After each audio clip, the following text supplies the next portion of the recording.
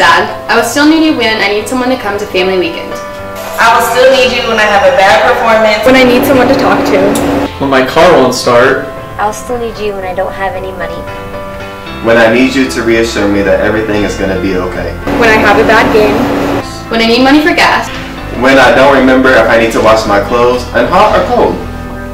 When I want to come home for the holidays. When I do my taxes for the first time. When I meet someone special and I don't know what to say. When I'm stressed about finals. When I'm homesick.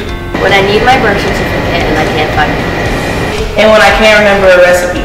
But most importantly, when I walk across stage on graduation day, I will still need you, Mom and Dad. I will still need you, Mom and Dad. I will still need you, Mom and Dad. I will still need you, Mom and Dad. I will still need you, Mom and Dad. I'll still need you, Mom and Dad. I will still need you, Mom and Dad. I will still need you, Mom and Dad.